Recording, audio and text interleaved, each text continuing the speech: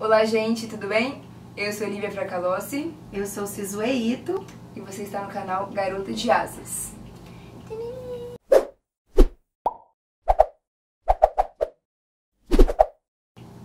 Hoje a gente vem finalizar o projeto de leitura compartilhada de O Hobbit. A gente iniciou esse projeto no finalzinho do mês de novembro e encerrou no dia 18 de dezembro. Então agora, conforme prometido, a gente vai fazer uma resenha desse livro sensacional.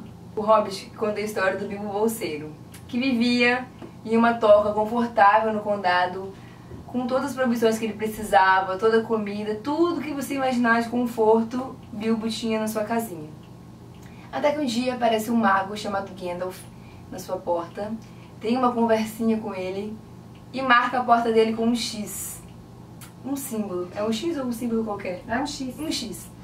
E aí começam a aparecer anões, de pouco em pouquinho, liderados pelo Thorin. Escudo de carvalho! Demorou um tempinho pra lembrar esse nome. Pelo Gandalf. Não, Pelo Thorin. Thorin! Você que é lá de martelo. O Thorin do martelão lá. Como é que é o Thorin? Esqueci, caceta. Do escudo de carvalho. da- Escudo de carvalho! Então, Pelo Thorin. Thorin ou Thorin? Thorin. Thorin, escudo de carvalho. E então os anões vêm convocar Bilbo Bolseiro para uma aventura. Na verdade, quem convocou mesmo foi o Gandalf, né? Ele Que veio. identificou nele características importantes ou é, questões da sua natureza ou morais que seriam é, relevantes para a conclusão dessa, dessa, desse desafio que eles teriam a cumprir.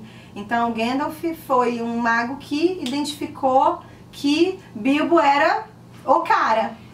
Bilbo era da hora. O cara, na verdade, ladrão. Então, eles é, chamam o Bilbo para essa aventura para ele agir como ladrão dessa, dessa galera aí, né? Ele teria que entrar no castelo que Smog, o dragão, teria se apossado, né? Um castelo que antigamente era dos anões e, e o dragão estava lá dentro guardando o ouro e não deixando mais que os anões tomassem para si o que no passado teria sido deles.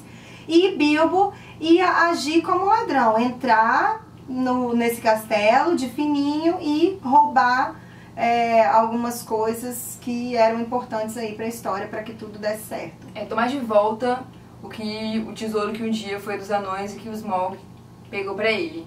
Nesse meio tempo, assim, da casa do Bilbo até o, o castelo do Smaug aqui, né, vai correr a história, todas as aventuras, eles passam por muitos perigos, eles...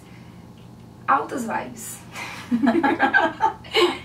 É muito legal o livro, assim. Parece. Quando eu, quando eu peguei o Hobbit pra ler, eu não tinha ideia do que se tratava, porque eu não vi nada, o filme, nem nada, né? Você vê como que eu tô no século, né? Maravilhosa, bem situado, assim. E eu fiquei assim, gente, peraí, é isso mesmo? É, e é, é exatamente isso. O Hobbit ensina várias coisas da maneira mais sutil possível, porque era pra, é um livro pros filhos do Tolkien, né? Isso. É, ele escreveu para os seus filhos, então um ponto importante aqui desse livro é que apesar de ter é, desafio, de ter guerra, ele não trata isso com violência. Então é um livro de fantasia leve mesmo e fofo, lindinho e fundamental, assim. É, o Hobbit é indispensável.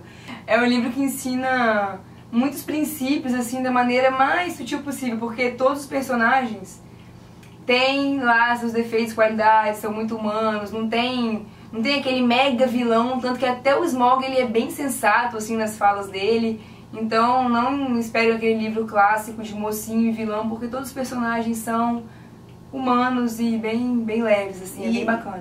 Existe uma elaboração em relação a isso. Então, assim, por exemplo, Bilbo, que é o grande sábio aí, né? a- além de Gandalf, mas Bilbo assume um papel de orientador dessa, dessa trupe. Não uma trupe, né?